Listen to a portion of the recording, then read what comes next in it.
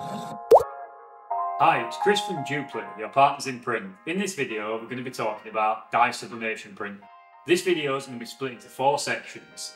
What is dye sublimation printing, how dye sublimation printing works, why you choose dye sublimation printing, and who will use dye sublimation printing.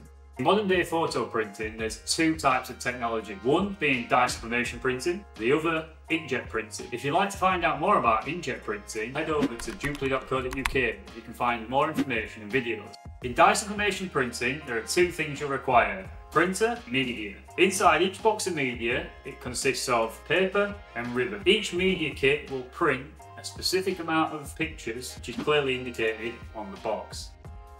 So on the ribbon, provided in the media box, there's three colours, cyan, magenta, yellow, finally clear protective film. What happens then is the paper is fed through the printer and inside the printer there's a thermal printhead. The thermal printhead will then heat the ribbon which causes the ribbon to stick to the paper. This process is, happens three times, each time putting a different layer of colour onto the paper.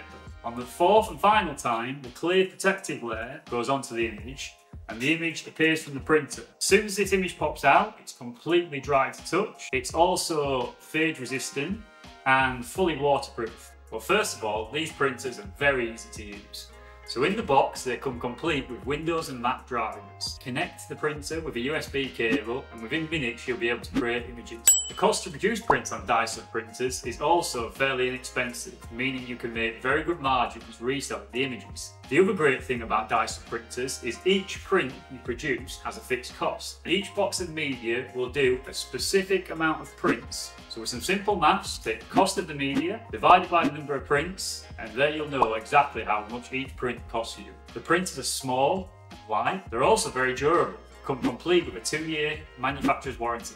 So the first market would be event printers, where it's print on demand, customers come into your studio, you take a shot and sell a print there and then. Secondly, the printers are great for system integrators. So that's companies that are manufacturing photo booths or selfie mirrors where they're giving the customer the option to print. Finally, why not buy multiple dye-sub printers so you can create a compact retail print solution?